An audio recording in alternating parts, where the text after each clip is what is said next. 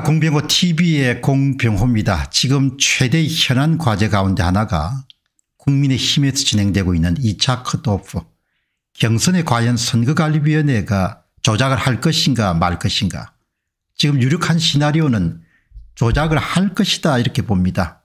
눈에 가시 같은 부정선거를 외치면서 중앙선거관리위원회 이익에 직접 위해를 가하는 황교안 후보를 낙마시키려고 하는 그런 계획을 과연 구체화할 것인가 이 문제에 대해서 어, 오랫동안 그4.15 부정선거 문제를 규명해온 바실리아 TV의 조슈아님 모시고 오늘 여러분들에게 아주 명쾌한 그런 방법과 해결책을 제시하도록 하겠습니다. 반갑습니다.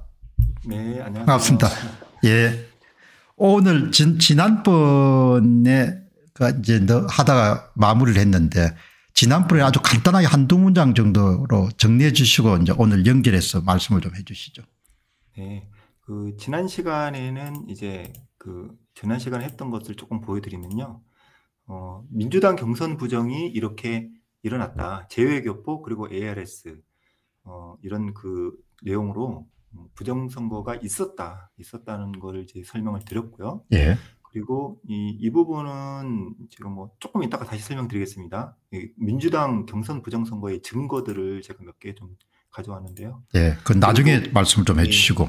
예. 그리고 어제 또 얘기했던 것은 국민의힘 그 당 대표 부정선거에서 어, 이런 특징들이 있었다라는 걸 이제 설명을 드려서 어, 이걸 이제 말씀을 드리면서 어, 당내 경선, 당내 어, 선거의 부정선거에 있어서도 그때그때마다 방법이 조금씩 바뀐다. 이런 거를 좀 이해하기 쉽게 설명을 드렸습니다. 그러니까 조슈아님 말씀의 요지는 국가 차원에서 지방선거라든지 총선 이런 부분에 대한 부정선거뿐만 아니고 당내의 당대표 선정이나 대선 후보 선정에서도 부정선거가 그동안 많이 자행되어 왔고 그 가운데 사례가 2017년에 민주당 대선 2021년 6월 11일 날 국민의힘의 전당대 당대표 선출 이렇다는 말씀이시죠.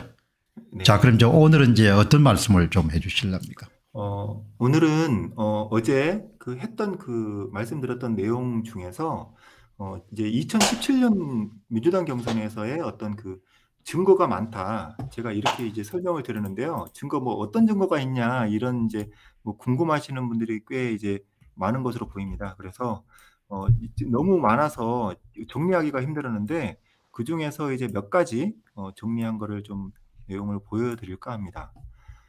어, 여기서 잠깐만요.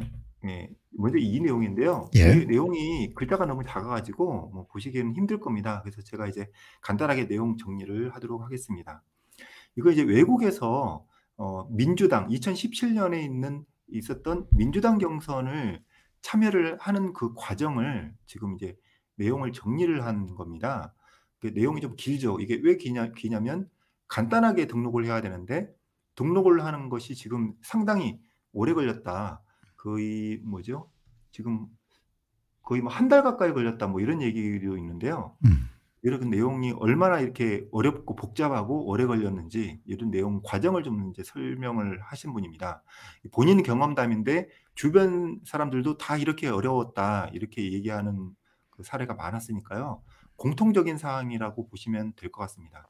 먼저 어, 선관위에다가 재외국민 선거인단 등록을 했다고 하는데요. 등록 접수를 하면은 등록증이 오는 데까지 3, 4일이 걸렸다고 합니다. 바로 오는 게 아니고요. 첫 번째입니다. 첫 번째고 두 번째는 그 메일 인증번호를 받아야 되는데 메일 인증번호가 빨리 안 와가지고 어, 이걸 한 이틀 정도 또 걸렸답니다. 음. 이게 이틀 걸렸고요. 그 다음에 어, 또 이제 또 귀찮은 게 제, 제 외국인 선거인 등록증하고 여권이나 주민등록증을 찍거나 스캔해 가지고 첨부를 해야 되는데 이게 또 첨부가 잘 안 됐다고 합니다. 음. 이거 이제 이거 첨부가 왜 안 돼? 다들 이제 컴퓨터를 못 하셔가지고 음. 뭐 못한 걸 수도 있지 않습니까? 근데 그런 게 아닌 것 같습니다. 사진 파일을 첨부하면 어, C 드라이브의 경로가 문제가 있다라는 식으로 에러, 에러 메시지를 보면서 등록이 중간에 중단이 됐다고 음. 합니다. 그래서 이제 어, 이, 이분 얘기로는 방황과 환란이 시작되었다 이렇게 표현을 하는데요.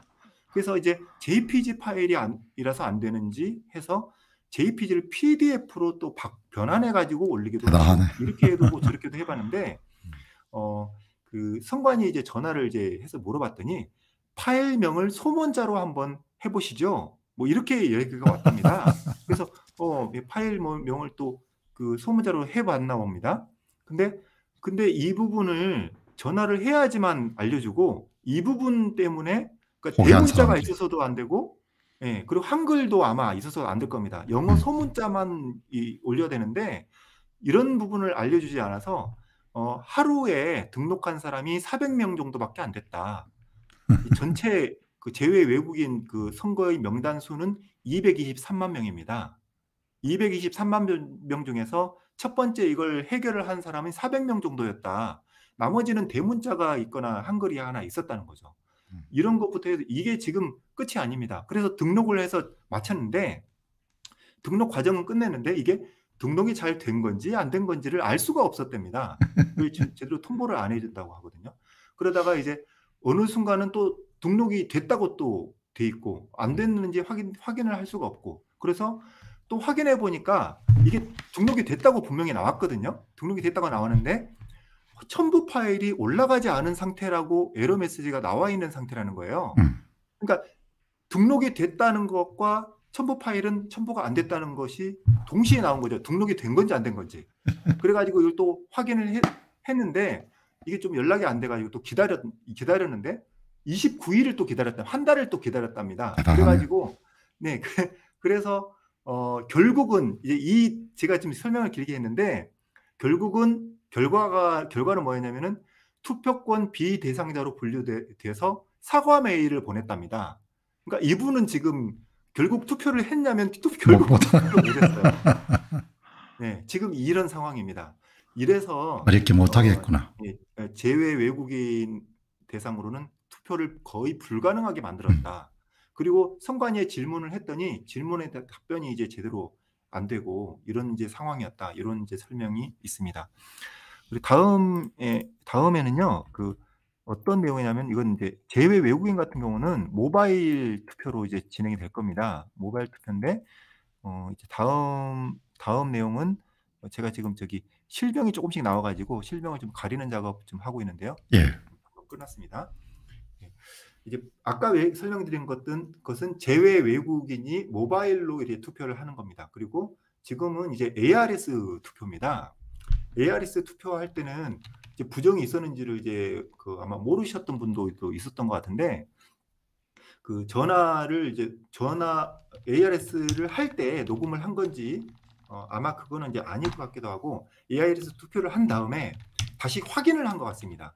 내 투표가 제대로 이제 접수가 됐는지 어, ARS로 ARS로 이제 그 통화를 하는 것이 정상적으로 투표가 되는지를 확인을 해본 겁니다. 근데 이게 제대로 안 된 사람들이 상당히 많았다는 거죠. 음. 그래서 이렇게 이제 어, 단체로 제보 카톡도 만들었나 봅니다. 제보 카톡을 만들어 가지고 음. 사람들이 정신없이 막 카톡을 보내는 겁니다. 내가 연락을 했더니 내가 투표를 ARS 투표를 했는데 음. 내 번호를 다시 확인했더니 내 번호를 이제 확인하는 어떤 그 방법이 있었나 봅니다. 내 전화번호를 확인했더니 투표가 안 됐다.